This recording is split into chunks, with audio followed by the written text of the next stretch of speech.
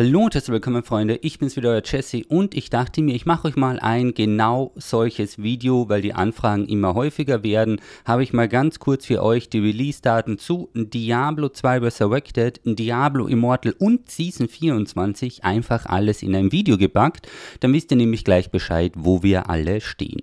Fangen wir mal ganz von vorne an. Zuerst, es gibt keine offiziellen Release-Daten, obwohl das sehr, sehr viele schreiben, aber es wird natürlich viel spekuliert und das Ganze ist nicht ganz ganz unbegründet, möchte ich mal dazu sagen, wir beginnen mit Diablo 2 Resurrected. Ich werde jetzt nicht irgendwas auf die E3 referenzieren, sondern wir fangen mal mit den Sachen an, die wir wirklich haben.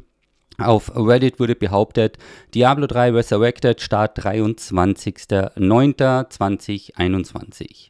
Jetzt ist das nicht ganz falsch. Natürlich könnte jeder schreiben, kann ich auch tweeten. Jo, ähm, äh, zu Halloween kommt Diablo 2 Resurrected. Das wäre nämlich meine persönliche Meinung gewesen. Fakt ist aber, dass der, der das geleakt hat, der hat doch schon praktisch Diablo 4 vorhergesagt. Der hat die neue Klasse in Diablo 4 vorhergesagt und, und, und. Also es ist ein sogenannter Gaming Insider. Das bedeutet, die Wahrscheinlichkeit, dass die Daten zutreffen, er hatte bis jetzt sehr, sehr häufig recht. Das kann schon durchaus sein. Also, 23.09. notiert euch das Diablo 2. Man weiß jetzt nicht ganz genau, basierend auf den Reddit-Post, ob wir jetzt von einem Beta, Official Beta-Start sprechen oder von einem Official Release. Ich persönlich würde eher auf das Release tendieren, weil die zweite Testphase wird ja so eine Alpha-Testphase von Diablo 2 Resurrected sein. Die wird sicherlich noch im Sommer im Vorfeld kommen, weil sie müssen ja die Daten sammeln, sonst wird das Ganze zu knapp. Also Diablo 2 Resurrected Ende September, so ungefähr kann man sich das mal hier eintragen. Das Ganze dann gefolgt von Diablo Immortal, da gibt es ja eigentlich noch gar nichts dazu, außer die Bestätigung an die Aktionäre, dass Diablo Immortal zum Ende des Jahres hin noch released wird, weil natürlich klingelt es dann in der Kasse, bedeutet also ich persönlich sage, Diablo Immortal kommt im Dezember. Könnt ihr gleich notieren. Passt von den Abständen her super.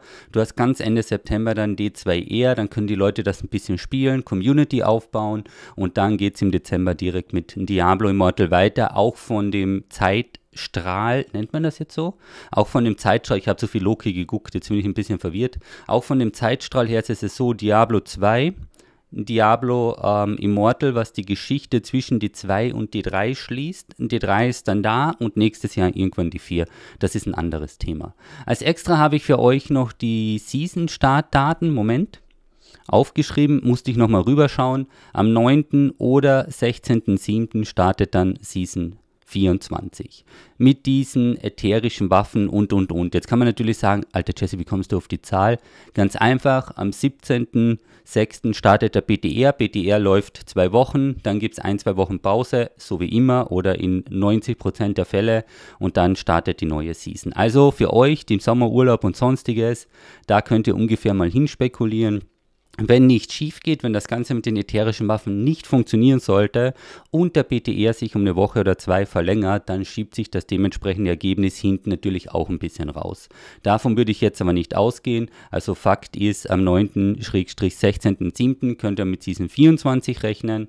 Diablo 2 Resurrected und ähm, Diablo Immortal hatten wir.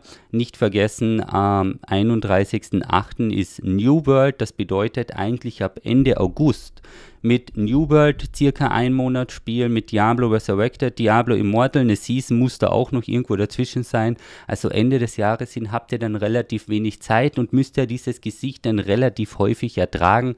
Könnte schlimmer sein, ihr könnt eure Spekulationsdaten noch gerne in die Kommentare schreiben oder denken, dass das Ganze oder eure Meinung kundtun, so das wollte ich sagen, eure Meinung kundtun, glaubt ihr die Daten stimmen, habt ihr bessere Daten, dann kann ich die im nächsten Video verwenden. Und ansonsten wünsche ich euch jetzt wie immer viel Glück, viel Spaß und bis zum nächsten Mal und nicht vergessen, wenn der PTR startet, ist das Ganze natürlich wieder live in den Streams. Und jetzt bin ich raus.